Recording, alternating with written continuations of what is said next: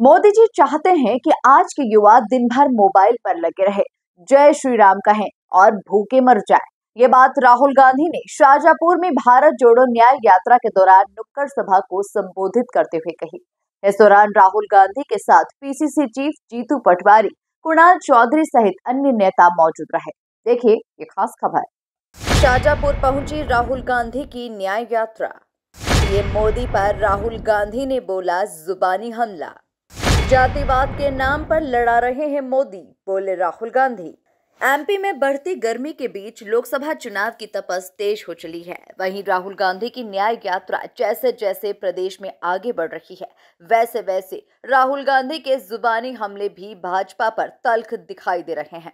जहाँ एक बार फिर शाहजहापुर में राहुल गांधी ने पीएम मोदी पर जुबानी हमला बोला और कहा कि मोदी जी चाहते हैं कि आज के युवा दिन भर मोबाइल पर लगे रहें।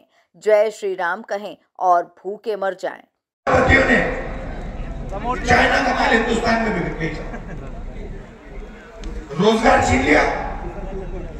चाइना के युवा को फ़ायदा हो रहा है और हमारा जो युवा है सात सात घंटे रील देख रहा है।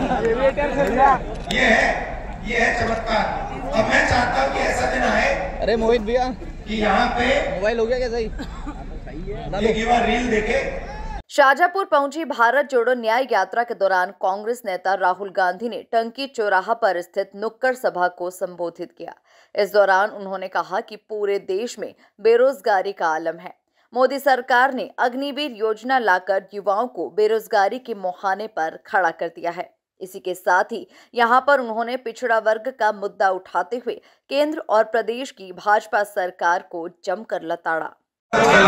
समाज में जो बीजेपी धर्म को धर्म से लड़ाती है जात को जात से लड़ाती है भाषा को भाषा से लड़ाती है उसके खिलाफ हमने भारत जोड़ो यात्रा की बहुत सारे लोग और इसमें आपकी ज़रूरत होगी। मोदी जी ये नहीं चाहते। मोदी जी ये ये नहीं चाहते। मोदी जी नहीं चाहते मोदी जी चाहते मोदी जी नहीं चाहते मोबाइल पे लगा रहे मोदी जी चाहते दिन भर मोबाइल पे रहो। जय श्री राम बोलो और भूखे मर बता दें कि राहुल गांधी की न्याय यात्रा आज राजगढ़ से शाजापुर ज़िले में पहुँची। वहीं आज उज्जैन में बाबा महाकाल के दरबार में हाजिरी लगाएँगे। Bureau report, MP news, Shajapur.